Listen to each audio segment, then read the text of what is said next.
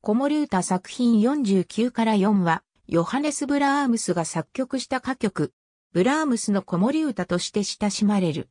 1868年7月に、ボンにおいて、ブラームスの友人であったベルタ・ファーバーに次男が生まれたことを記念して作曲された。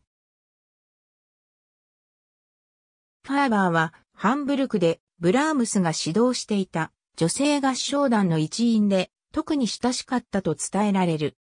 同年中に5つの歌曲作品49のうちの1曲として出版され、初演は1869年12月22日にウィーンでルイーズ・ドゥストマンとクララ・シューマンによって行われた。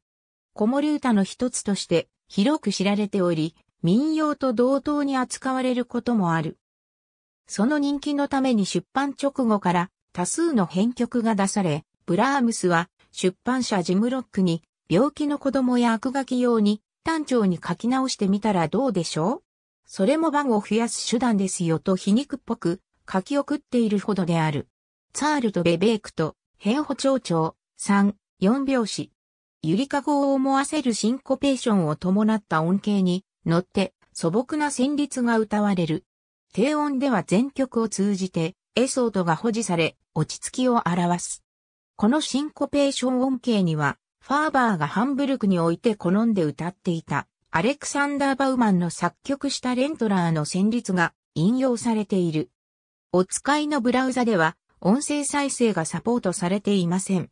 音声ファイルをダウンロードをお試しください。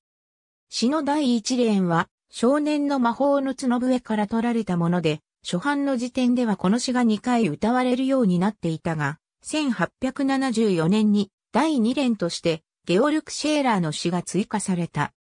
日本においては、堀内敬三の眠れよ吾子汝をめぐりてで始まるものなど、複数の訳詞が書かれ、歌われている。ジークフリート・クロス・ヨハネス・ブラームス、 Attempt a Critical Documentary Biography、Band 2 Bouvier、ボン1997、P551 ブラームス、S ララバイ、babycenter.com、ナグレインは、ネルクラインの古語で、クローブの意味。ダズパラディースイコールイコール、エスパラディースハット、ブラームスの子守歌。ありがとうございます。